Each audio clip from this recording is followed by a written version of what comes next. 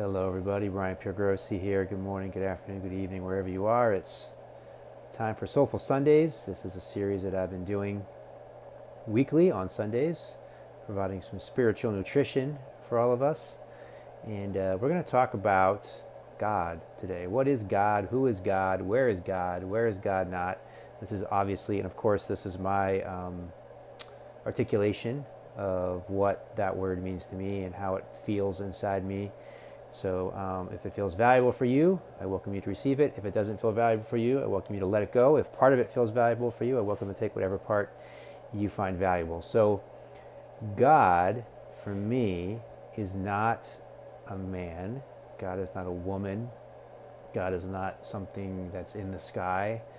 Uh, God is a formless, what I call universal creative intelligence that permeates and transcends all things, all time, all space, all beings, everywhere, uh, all times, most importantly, here and now, including inside ourselves.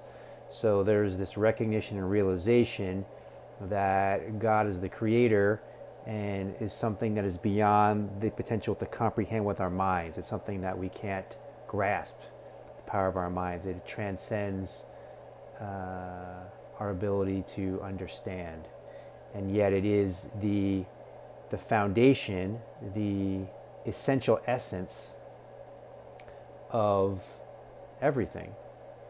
It is the creator, it is the prime mover, and it is not only the creator and the prime mover, but it is also the manif- manifested. So it is, it is the manifester and the manifested both at the same time eternally. So um, God is everywhere.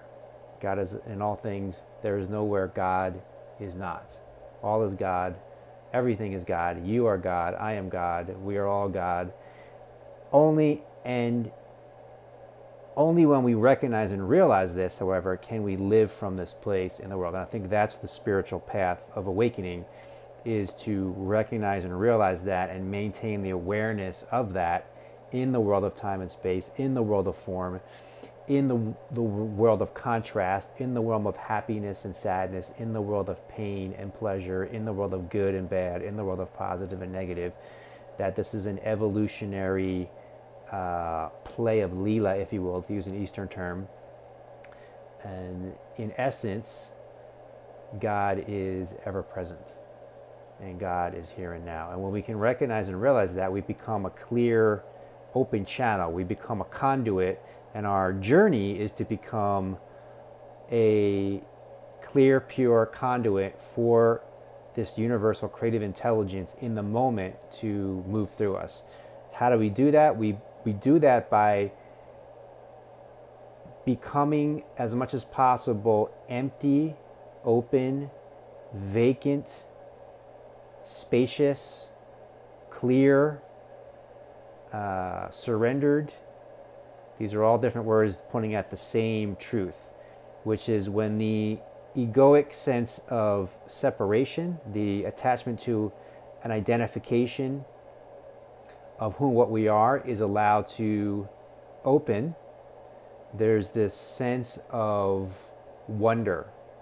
And wonder really is the connection point to God. And God really is the sense of wonder. God is something, again, that we cannot comprehend with our minds. So when we're in this sense of pure, open, vacant, available wonder, then an higher intelligence is allowed to enter us and is allowed allows us to be a conduit for it. So we allow God to speak through us, we allow God to think through us, we allow God to to move through us, to make decisions for us. We allow ourselves, every cell of our being, to be divinely guided by God moment by moment by moment. We do that by listening, by giving our full awareness, our full attentiveness, our full presence to the moment, to listening to this inner sense of intuitive connection and communion inside ourselves moment by moment. And, and being in a basically being in a state of continuous prayer and meditation of what am I supposed to do now? You know, what is of the highest benefit to all beings right now, and right now, and right now, and right now? And we giving by giving ourselves over in this way, we are able to live in a way that is more um, magical, more miraculous, more in the field of synchronicity, more in the field of flow state than we ever could by trying to use just our heads itself, by using just our intellect alone to try to think out what is the best strategy to be happy or what is the best strategy to to make it all work out in my favor and my benefit. Um, there's a there's a higher way of living. This is called the mystical path. This is called the mystical communion with God, where there's a direct relationship with God, with Christ consciousness, and in this direct relationship, there's this receptivity, there's this surrendered openness, and the paradox is when you are completely in a space of letting go, when you are in a space of completely surrendering, you can actually, depending on your personality type, you can come come across as confident or um, charismatic, or, you know, right, or um, uh, empowered, because, but it's not your will it's thy will. It's not by your will it's by thy will that all the miracles are happening through you. All the magic is happening through you uh, all the synchronicities are happening through you by the grace of God, you know, the, the, the power of an intelligence that is, that is exponentially larger than yourself, that knows what's best for you, knows what's best for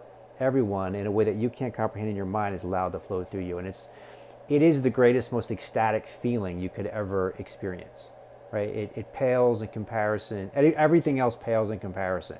You know, imagine the greatest uh, drug, the greatest, you know, beer, the greatest weed, the greatest uh, whatever it is, right? It's like it pales in comparison to this is the greatest high, the greatest ecstatic feeling that we're that we're all looking for, but don't know how to look for it because it can't be found with the mind, right? And the only way to open up to this ecstatic experience, this ecstatic communion with God, with yourself, with life, with the world around you, is to be fully uh, available to the moment, to fully open your heart, to fully open your mind, to fully open every cell of your being, to be available and to allow uh, your will to be released, to be surrendered, and allow God's will to enter you and move through you in this moment, moment by moment.